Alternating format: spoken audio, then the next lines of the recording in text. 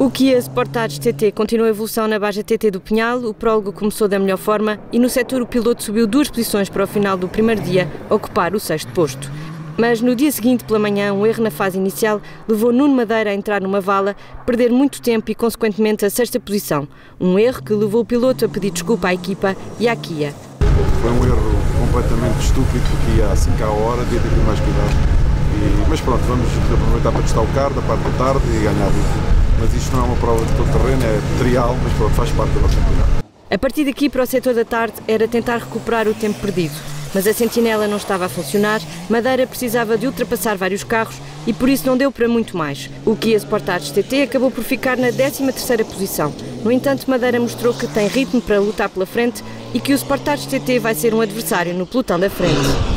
À tarde decidimos atacar, estávamos com um ritmo muito bom, por aquilo que nós sabemos dos tempos, fazíamos entre o terceiro e o quarto lugar e, portanto, o Sportage esteve perfeito, não teve qualquer tipo de anomalia. Fizemos os 350 km, foi um bom teste e estamos num bom ritmo. E acho que vamos estar no melhor campeonato dos últimos anos porque temos 7, 8 pilotos que vão dar a lutar ao segundo pelo, pelos primeiros lugares. Vai ser muito bom. Infelizmente, no, hoje, hoje de manhã, não, as coisas logo ao quilómetro 2 não correram bem e condicionou todo, todo o resto. De qualquer forma, fizemos uma segunda parte impressionante.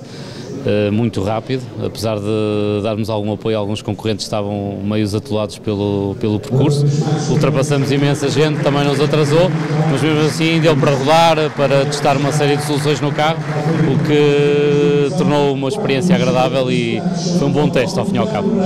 Agora resta limpar a base TT do Pinhal da cabeça e tentar, já com Lalé, voltar a discutir os primeiros lugares. O Kia Sportage CT está cada vez melhor e quer chegar à primeira vitória já este ano.